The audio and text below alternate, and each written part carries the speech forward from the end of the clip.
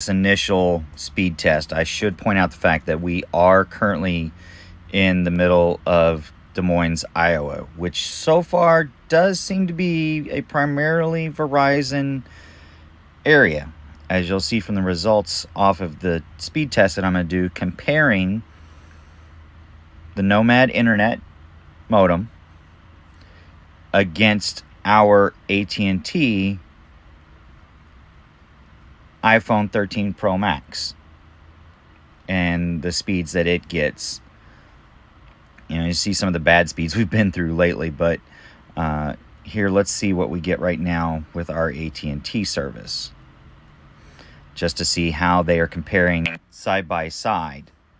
This way, it's a fair comparison between them. We are in a decently sized city at the moment, so both should get some decent speeds. But as you can see, the Nomad is definitely pulling much larger download at the moment.